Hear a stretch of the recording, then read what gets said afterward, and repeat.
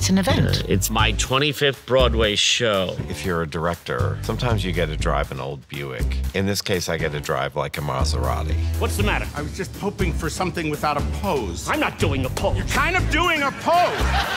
that. What? That right there. My name is Zoe Wanamaker. If you're having a stroke, I hope you'll find some way to let me know. I'm Danny Burstein. You know I teach photography, right? I'm Nathan Lane. I want to retire from being retired. The idea is I could be doing nothing somewhere else. The three actors are so good and so extraordinary at what they do. They have decades of experience. To watch them work with the material is exceptional. I find it exciting to be here, to do it with these two legends. It's like working with your heroes. Something special is happening here at Studio 54.